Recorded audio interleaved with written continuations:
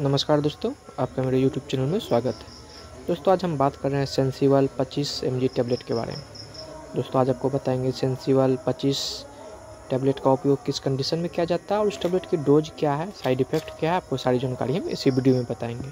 तो चलिए शुरू करते हैं सेंसीवल पच्चीस टैबलेट की फुल रिव्यू दोस्तों सेंसीवल पच्चीस टैबलेट वालिस कंपनी का एक बेहतरीन प्रोडक्ट है। और इस टेबलेट की कीमत की बात करें तो इस टेबलेट का प्राइस है अड़तालीस रुपये नब्बे पैसा, जो दस टेबलेट की स्ट्रिप में आती है। और इस टेबलेट का रंग काला है और गोल है। आप इस रंग से भी आप पहचान सकते हैं कि सेंसिबल टेबलेट ही खरीदे हैं। तो चलिए बात करते हैं इस टेबलेट के फ़ायदे क्या है और लेने का तरीका क्या है। दोस्तों सेंसिबल पच्चीस टैबलेट का उपयोग डिप्रेशन चिंता को दूर करने के लिए इस टेबलेट का उपयोग किया जाता है।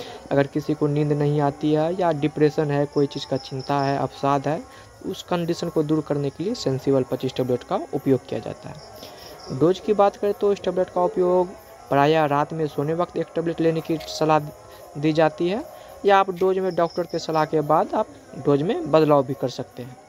साइड इफ़ेक्ट की बात करें तो अमूमन सेंसिबल पच्चीस टेबलेट का साइड इफ़ेक्ट बहुत कम देखने को मिलती है।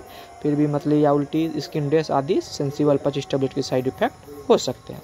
अगर आप भी इस टेबलेट का उपयोग करना चाहते हैं तो डॉक्टर के सलाह के बाद ही इस टेबलेट का उपयोग करें और किसी भी तरह का दिक्कत होने पे नज़दीकी डॉक्टर से ज़रूर संपर्क करें। तो चलिए दोस्तों, आज के वीडियो में इतना ही। अगर अभी तक आप हमारे यूट्यूब चैनल को सब्सक्राइब नहीं किए तो प्लीज़ दोस्तों चैनल को सब्सक्राइब कर लीजिए। वीडियो को लाइक कर दीजिए शेयर कर दीजिए। धन्यवाद।